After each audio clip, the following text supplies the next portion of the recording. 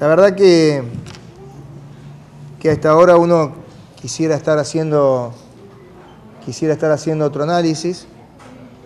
Eh, de todos modos, esta noche me, creo que tanto yo como, como los que me acompañan, después le vamos a pedir a Seba, a Caro que se expresen. Eh, podemos dormir tranquilos, podemos apoyar tranquilos la cabeza en la almohada. La verdad que se ha conformado un grupo, un grupo bárbaro. Estoy convencido de que, de que es un grupo que va a dar que hablar, que es un grupo que le va a dar satisfacciones al peronismo y a la gente de Morteros.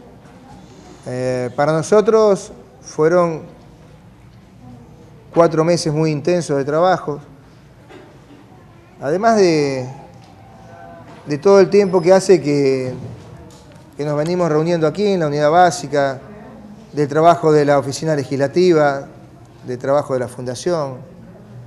Eh, bueno, yo quiero agradecer a este grupo maravilloso de gente que, que me acompaña, buena gente, gente de bien, gente que no tengo dudas que, que tenía un proyecto para Morteros y que lo sigue teniendo. Felicitar al doctor Bría, a su equipo que han triunfado en estas elecciones. Eh, felicitarlos. Este, la verdad que también este, han, han, hecho lo suyo para ganar y, bueno, la gente eligió ese modelo de gestión. Felicitar al doctor Bría, a todo el equipo eh, por este triunfo.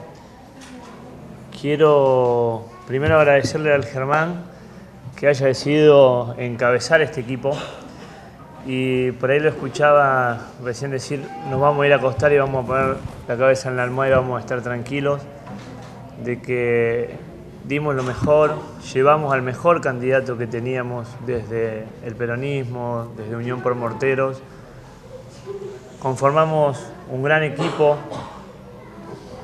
como veníamos diciendo, ¿no? que intentábamos darle frescura, una mirada distinta de, la política desde nuestro espacio.